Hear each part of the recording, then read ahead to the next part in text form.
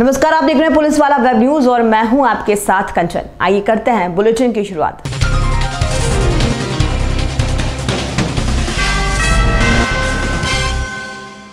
जबलपुर के पौष इलाकों में सूने घरों को निशाना बनाकर चोरी करने वाले एक गिरोह का पुलिस ने पर्दाफाश किया है, जिसके तीन सदस्यों ने मिलकर अभी तक तेरह घरों में चोरी की थी। मुखबिर की सूचना पर पुलिस ने तीनों को हिरासत में लेकर सख्ती से पूछताछ की तो उन्होंने खमरिया रांझी संजीवनी नगर, गोरा बाज़ार तिलवारा, कैंट और ग्रामीण क्षेत्रों में कुल तेरह वारदातों को अंजाम देने का अपराध कबूल किया है। आरोपियों के कब्जे से सोने चांदी के जेवर, लैपटॉप, कैमरा और मोबाइल जब्त किए गए हैं, जिनकी अनुमानित कीमत सात लाख रुपए के आसपास बताई जा रही है। पुलिस की पूछताछ में आरोपियों ने बताया कि वे पहले क्षेत्रों में घूम घूम कर रेकी करते थे और ताला लगे वाले घरों पर नज़र रखते थे। रात होने पर दोबारा उन घरों के पास जाते थे और फिर ताला लगा होने की पुष्टि होने के बाद वारदात को अंजाम देते थे। क्राइम ब्रांच द्वारा काफ़ी कड़ी मेहनत करते हुए ऐसे तीन शातिर अपराधियों को पकड़ा है, जिनसे लगभग तेरह वारदातें मिली हैं हमको और करीब सात लाख रुपए का हम सोने चांदी के जेवरात और अन्य इलेक्ट्रॉनिक उपकरण बरामद हुए हैं। इन सब में और अपराधियों और घटनाओं की भी सूचना मिली है। इनके संबंध में जिला पुलिस बल और क्राइम ब्रांच द्वारा वर्क किया जा रहा है। और इसमें जो जितने भी हमारे फरियादी हैं और उनसे हम लोग की संपर्क में हैं और जो जो घटनाएँ सामने आ रही हैं उसके अनुसार कार्रवाई की जा रही है। किन किन थानाओं की ये लगभग पाँच थानों के जो हैं अलग अलग घटनाएँ हैं। जिनका खुलासा इस गैंग द्वारा किया गया। ये आरोपी करते क्या है? बैकग्राउंड ये बैकग्राउंड इनका कुछ खास नहीं है और इनका जो पेशेवर चोर हैं ये जो कि आदतन रूप से लगातार इलाके में घूम घूम कर सूने मकानों को चिन्हित करते रहते हैं और फिर उस पर रात में जाके उन पर घटना को अंजाम देते हैं।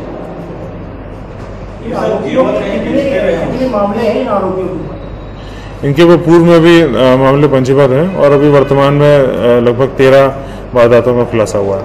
सर चोरी के मामले लगातार बढ़ते जा रहे ग्रामीण क्षेत्रों में भी बहुत चोरियाँ रही पुलिस गश्ती में कई कमी आ रही लगातार जो है इसमें अपराधियों के पीछे पुलिस लगी हुई है और ये जो ट्रेंड है अपराधों का उसमें हमेशा देखा गया है कि जो अप्रैल और मई और ये जून का जो समय होता है इस समय चोरियों की संख्या में वृद्धि होती है तो उसी हिसाब से उसको चुनौती लेते हुए पुलिस ने अपनी कमर कसी हुई है और लगातार हम अपराधियों को ट्रैक कर रहे हैं। रमज़ान पर्व पर मुस्लिम बाहुल इलाकों में चहल पहल देखी जा रही है। रमज़ान पर मुस्लिम समुदाय तीस दिन तक रोजा रखकर अल्लाह ताला की इबादत करते हैं। रमज़ान महीने पर जगह जगह रोजा अफ्तार का आयोजन किया जाता है, जिसमें बड़ी संख्या में रोजेदार शामिल होकर एक साथ नमाज़ अदा करने के बाद रोजा अफ्तार करते हैं। जबलपुर के नया मोहल्ला बंद कुआँ में रविवार को खान परिवार द्वारा ख्वाजा गरीब नवाज़ की छठी पर रोज़ा अफ्तार का आयोजन किया गया। रोज़ा अफ्तार में बड़ी संख्या में मुस्लिम और हिंदू भाइयों ने शिरकत की।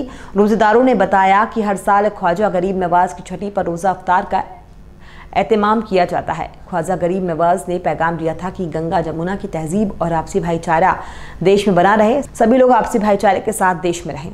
जबलपुर में कांग्रेस पार्टी के लोगों द्वारा भारतीय जनता पार्टी के कार्यकर्ता के साथ मारपीट के मामले ने तूल पकड़ लिया है। मारपीट के विरोध में भाजपा के कार्यकर्ताओं ने आधारताल थाने का घेराव कर प्रदर्शन किया।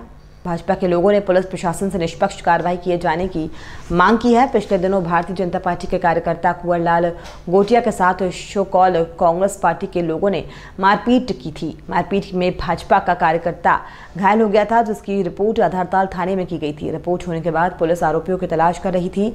आरोपी पुलिस कार्रवाई से बचने के लिए भाजपा कार्यकर्ता पर रिपोर्ट वापस लेने के लिए दबाव बनाया जा रहा है। भाजपा कार्यकर्ता ने जब रिपोर्ट वापस नहीं ली तो आरोपियों ने उसके खिलाफ भी मामला दर्ज करा दिया। भाजपा के लोगों ने पुलिस को मामले की जाँच कर आरोपियों पर शीघ्र कार्रवाई करने की मांग की है। भाजपा कार्यकर्ता ने कांग्रेस पर सत्ता का गलत इस्तेमाल करने का आरोप लगाया है। पुलिस का इस मामले को लेकर कहना है कि मामले की जाँच की जा रही है। जाँच के बाद नियमानुसार कार्रवाई की जाएगी। हमारे कार्यकर्ता कुंवर लाल गोटिया, उसके साथ कुछ लोगों ने मारपीट की थी। वो सो कॉल्ड कांग्रेसी बदमाश लोग थे। 307 का मामला हज़रत का मामला बना था। मामला अभी भी जुडिशली पेंडिंग है, उस पर कार्रवाई भी थी। उसके बाद उस पर दवा बनाने का बहुत सारा प्रयास किया गया, लेकिन उसने बिना डरे पुलिस में शिकायत की, पुलिस ने मदद की थी और मदद करने के बाद उसने गवाही भी दी है। परंतु अब वो उससे बदला लेने की नीयत से पहले उन्होंने एक छूटा चाकूबाजी का मुकदमा बनवाया था, जिसकी जाँच की गई थी और जाँच के बाद पाया गया था कि चाकूबाजी की घटना गड़बड़ है। परंतु उसके बाद भी हमने कहा कि पुलिस अपनी कार्रवाई करे। दोबारा कल दोबारा कल उन्होंने अपने घर पर बम बम जैसी कोई चीज़ें फोड़ी और जाके झूठी शिकायत पुलिस थाने में की है।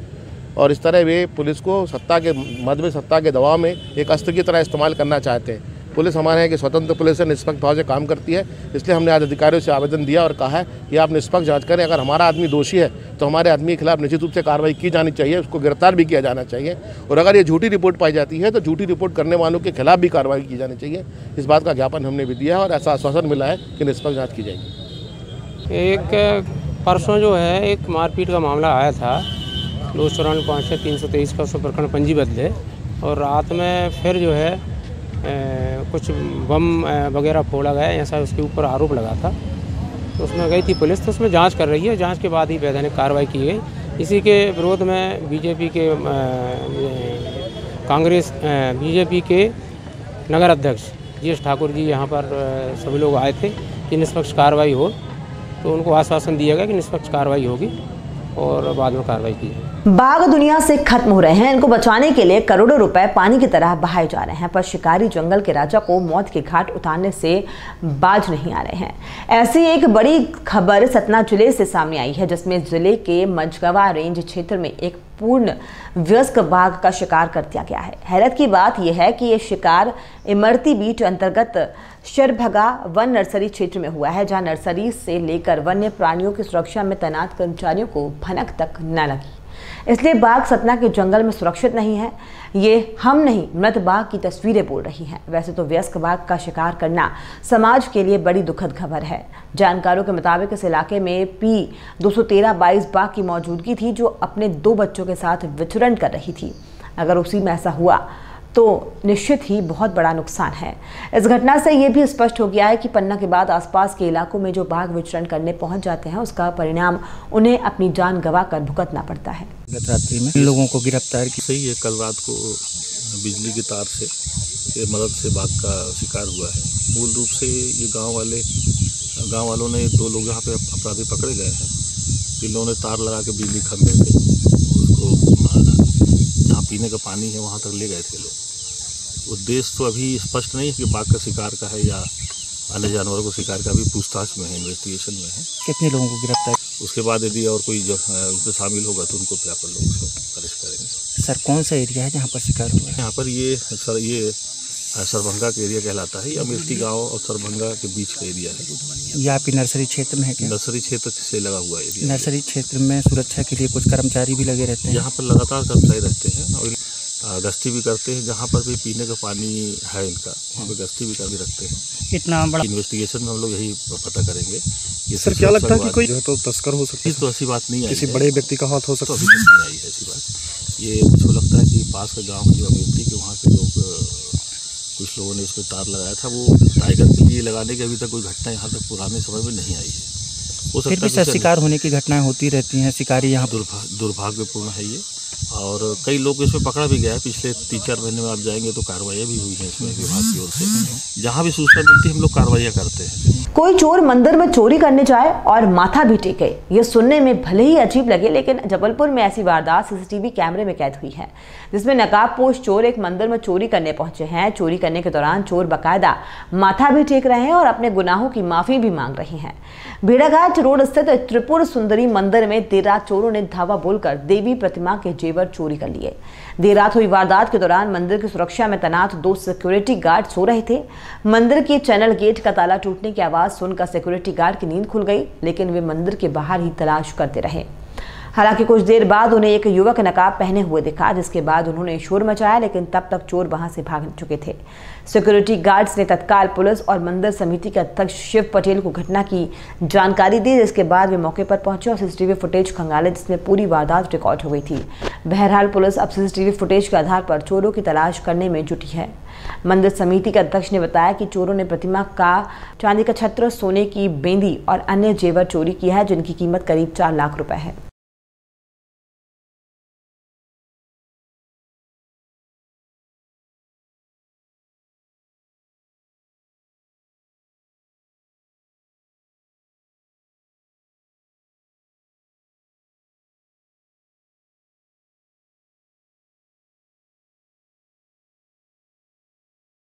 कल रात मंदिर में जो मुख्य मंदिर है, उसमें चार लोगों ने लगभग वहाँ पर चोरी करी है।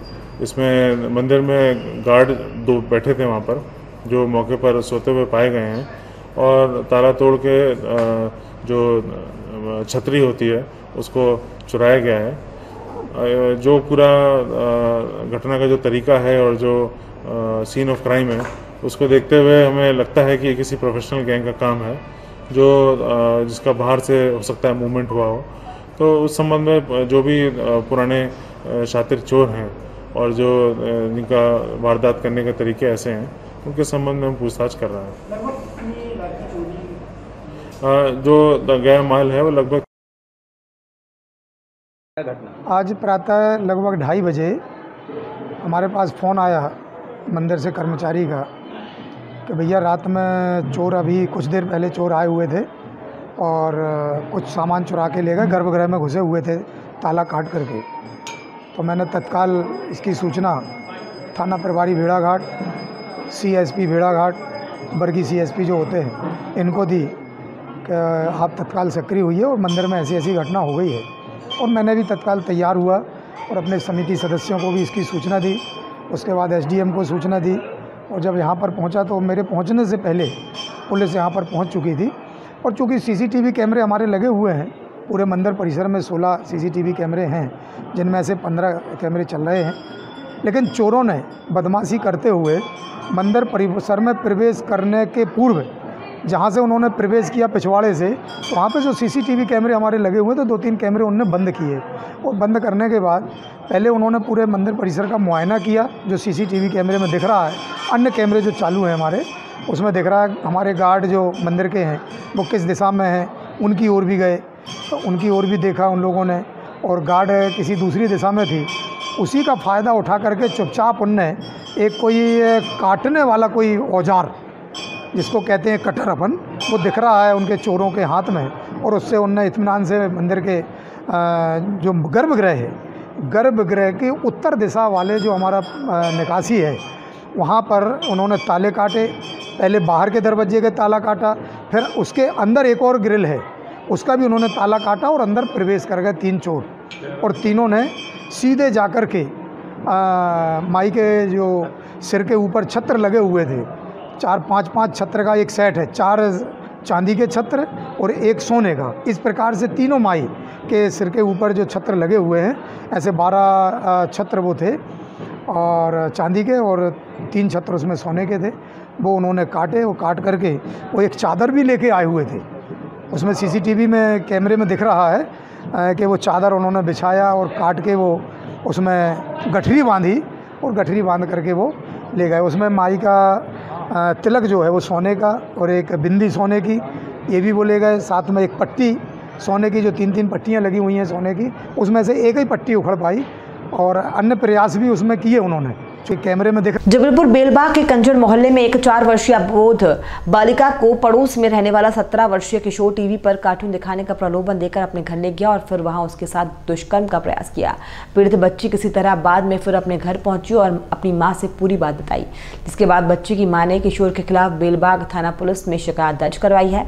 पुलिस ने पीड़ित बच्ची की माँ की शिकायत पर कंजर मोहल्ले में रहने वाले किशोर के खिलाफ मामला दर्ज कर पुलिस ने बच्ची को मेडिकल जाँच के लिए लेडी एलिंगन अस्पताल भेजकर मामले की जाँच शुरू कर दी। कंजर मोहल्ले की एक नाबालिग लड़की के साथ